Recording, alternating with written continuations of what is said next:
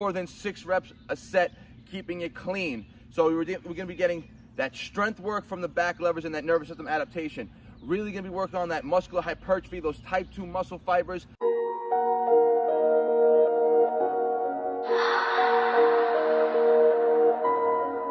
None of y'all stopping me, don't need to ask. Chopping trees, planting seeds, plotting schemes, crossing lines, dotting T's. Lines are blurred, I cannot see. Before I die, I'm top three. Before I die, I'm top three. He's telling me how many reps I gotta do. Okay.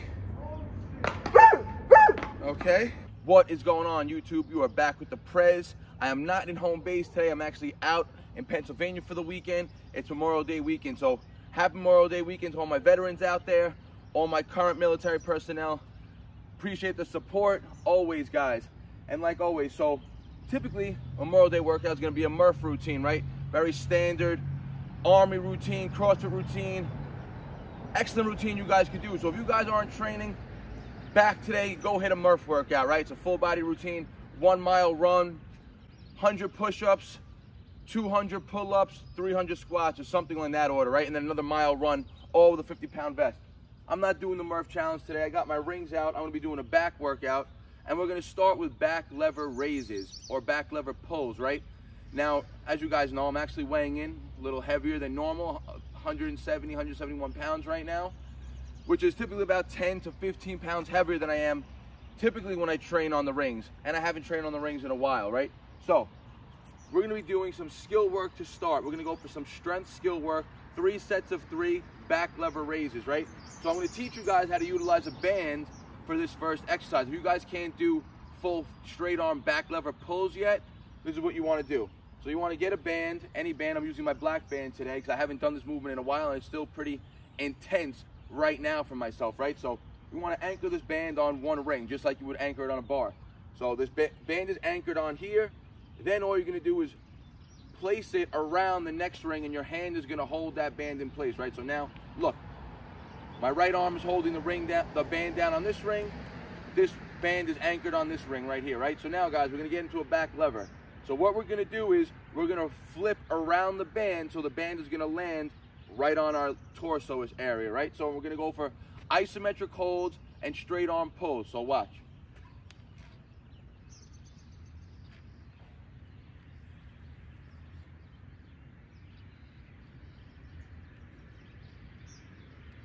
Pull back to vertical.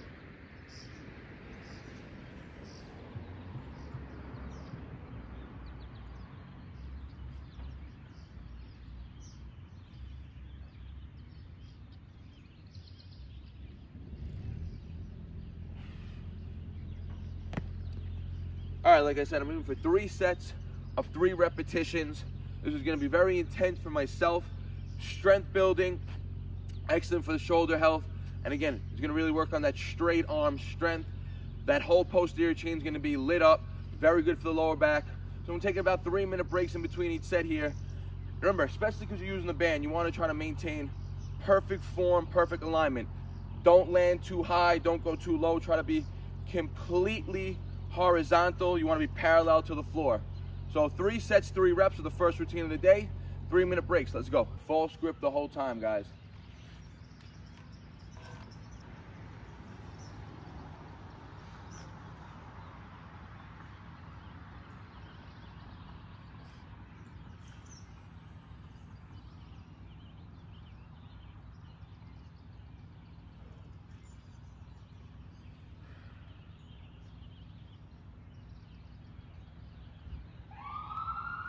So remember this, guys. If you guys are trying to get better at a certain calisthenic skill, you should be training those movements or those skills first in your workout sessions, or you should dedicate exclusive workout sessions just to practicing those skills. Because remember, skill training is gonna be very central nervous system activated, right? Meaning the central nervous system is what's gonna have to learn the movement pattern. Your body's gonna have to get stronger in specific ranges of motion, especially when there's an isometric component to the movement, right? When you're doing these back lever holds, your body's gotta have to know where to stop in space, where to be static, and how to produce force from that isometric hold, right? So that's gonna be a lot of nervous system training. So if you wanna train that at the end of the routine, it's gonna be very counterproductive and you're probably gonna be training with sloppy form and bad mechanics. So save the skill work for the beginning of the workouts and don't do too much of it, right?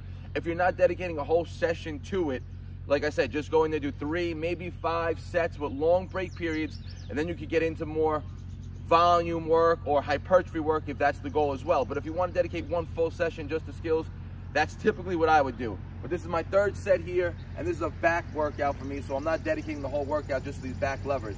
And I'm utilizing the band, remember, just to get my body back used to the movement, get my body back in the proper, uh, you know, planes of motion and proper mechanics and recruitment patterns to get this movement down clean again. So, last set here, guys.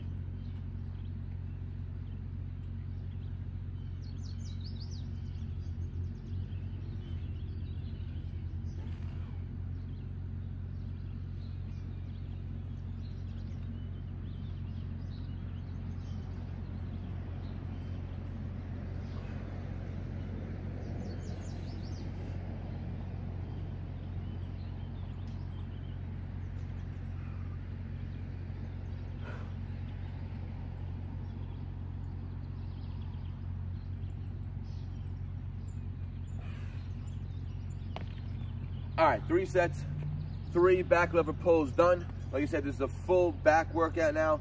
Now I'm gonna get into more hypertrophy work, volume work, really pump up the body right now, work on building some muscle.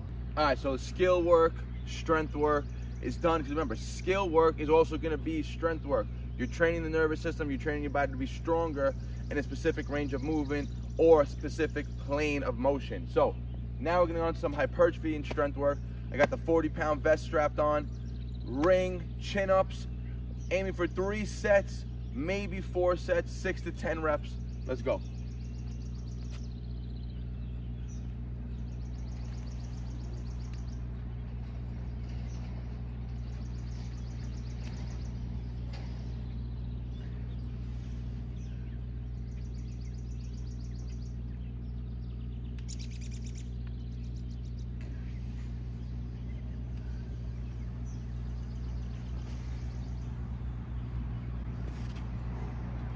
All right, keep it at an easy six reps today, three sets of six, two minute breaks today. Remember, this is a straight up pull or back focused routine.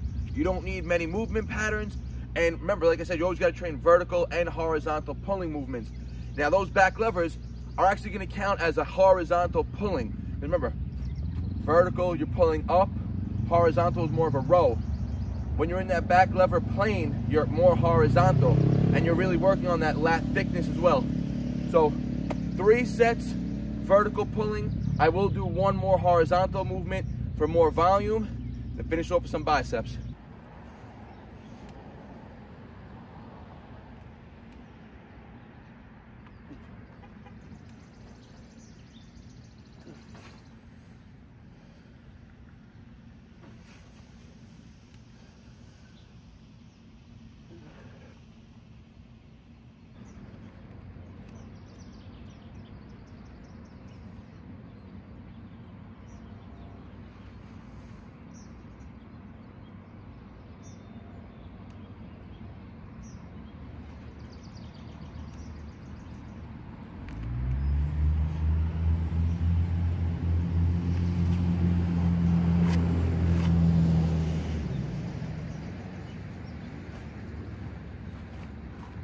Right into some L-sit pulls.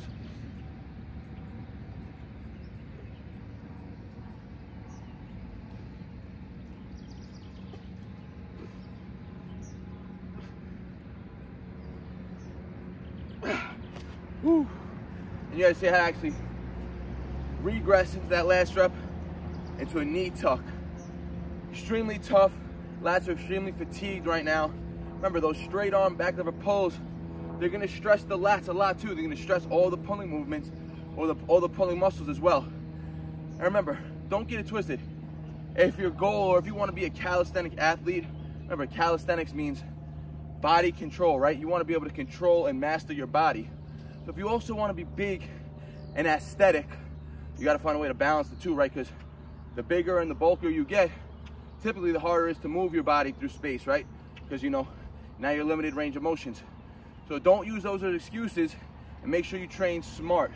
So that's how I, my goal always is to be as big and muscular as possible, as well as being aesthetic. And I tend to sometimes lose the thought of, you know, I gotta be able to control my body through space as well. So you'll see me now focusing more on the skill work again, really get my body back in tune with moving through space, being really in control, as well as trying to put on muscle at the same time. So two exercises done, back lever pulls, and now weighted ring chin-ups. So we're gonna do a vertical movement. Uh, we're gonna go back to another horizontal rowing exercise now for volume, and then finish off with some isolation. Let's go.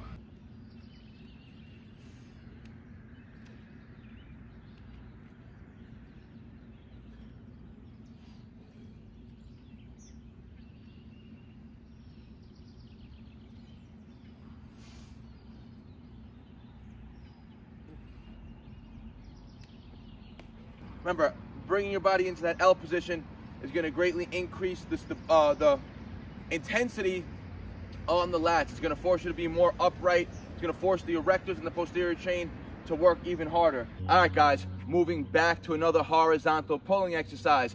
So remember, the first movement of the day, the back lever pulls. That's predominantly going to be working strength and nervous system adaptation.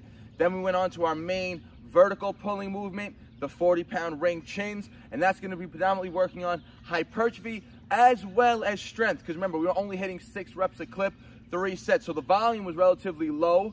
The breaks were about three minutes, and the intensity was pretty high, right? I really couldn't have pushed out more than six reps a set, keeping it clean. So we were, we're gonna be getting that strength work from the back levers and that nervous system adaptation. Really gonna be working on that muscular hypertrophy, those type 2 muscle fibers on those vertical 40 pound pulls and now we're gonna get into some more volume, some pump work, uh, slower break, um, shorter break periods here, 60 to max 90 seconds, depending on how many reps I get. And now we're gonna really focus on controlling the movement, slow eccentrics, squeezing, three sets of rows now, body weight. I'm only gonna film one because I don't want this video to be too long. And these rows now, remember, now we're working on hyper, uh, more hypertrophy time under tension. You wanna slow the movement down, right? So these sets, if you're hitting 12 to 15 reps a clip, they should be taking you minimum 45 seconds to up to a minute because now you really want to, again, like I said, focus on slowing down the movement, feeling the muscles, squeeze and contract.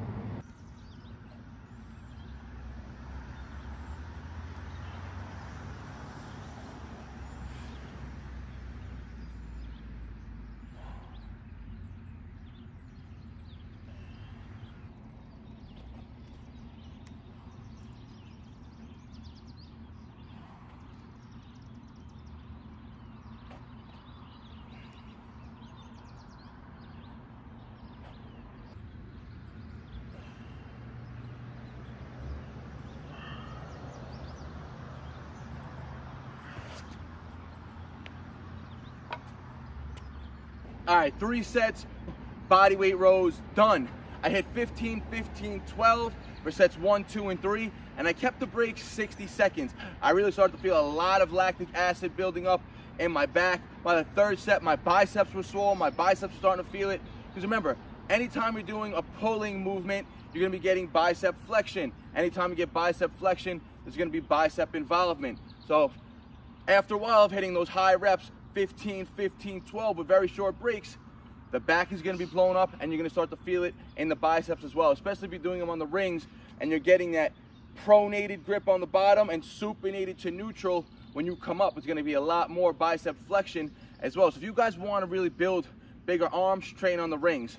So now we're gonna get into some more bicep isolation, which is a movement, well, this is an exercise I've been doing a lot lately. And as of late, I've had almost zero elbow pain.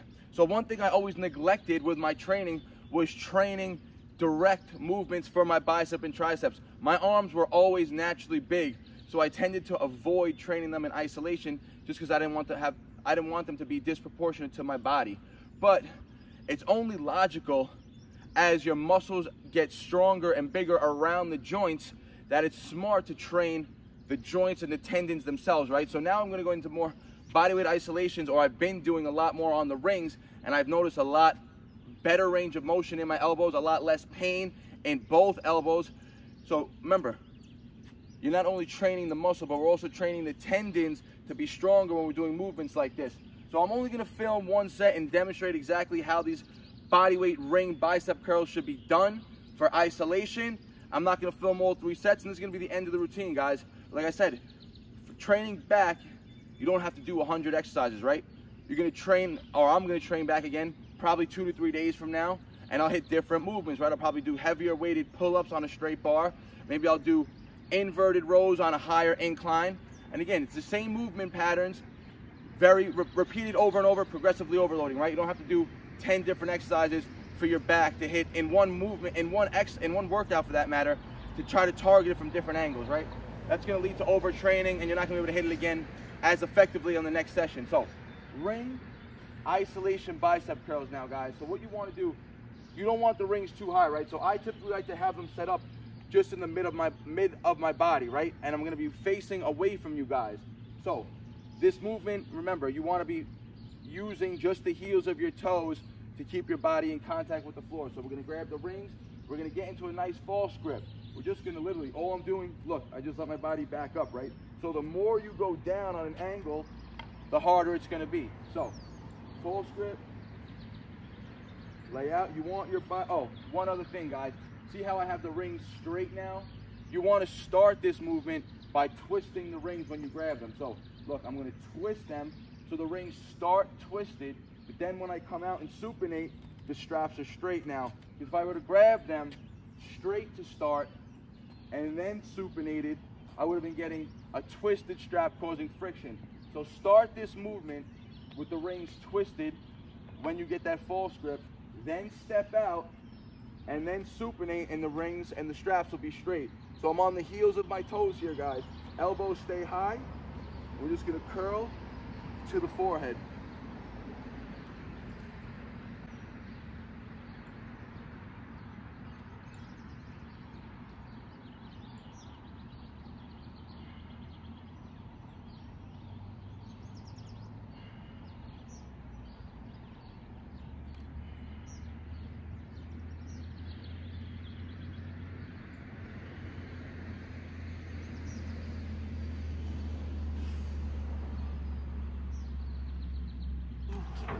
All right, I caught 10 reps. I wanna go for two more sets of 10. Another exercise, I'm gonna take 60 to max 90 second breaks here. Here you wanna really pump up the blood to the arms, really work on full lockout, stretching and getting that full tendon engagement. And that's a wrap, guys. Three main back movements, back lever pulls, 40 pound ring chins, and bodyweight rows. Three movements, literally targeting, targeting vertical pulling and horizontal pulling Gonna help you work on that V taper, that wideness of the back, and as well as the thickness of the back. Really, you making you, you know, more aesthetic, right? Because you don't want to just be wide and, and skinny. You want to be thick, wide, and muscular, and lean all together. And then some bicep isolations for bicep and tendon health.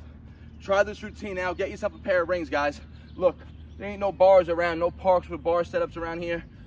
Found a, like I always say, guys, best place for me, I always found to hang the rings on a basketball hoop because 99% of hoops are gonna have this back bar that gets absolutely no use. Perfect height to hang the rings. You could raise the rings really high, get full clearance on all your exercises, and the straps are long enough to give you all the way high rings and bring the rings all the way down to the floor for more groundwork. So try this routine out. Guarantee you're gonna love it. You're gonna have a crazy pump and you're just gonna keep getting stronger. And the more you train on the rings, in general, your body awareness is gonna go up, right? You're gonna get better and better of knowing where your body is in space. The rings bring that instability aspect to it, force you to be more in tune with your body, force you to be more tense all around, keep that core tight, and control the limbs. So I hope you guys enjoyed this routine. If you have a question or comment, leave it in the comment section. I always get back to you guys. Like the video, it helps YouTube share the video with the world. If you're not subscribed yet, hit that subscribe button. Share it with your friends and family. Like always, guys, I appreciate the support. Peace out. Bar Naturals. No sad story, I ain't here for a symphony, no sympathy. When I was on the bench, you wouldn't sit with me. Now I'm on the court and I'm balling, my time's coming.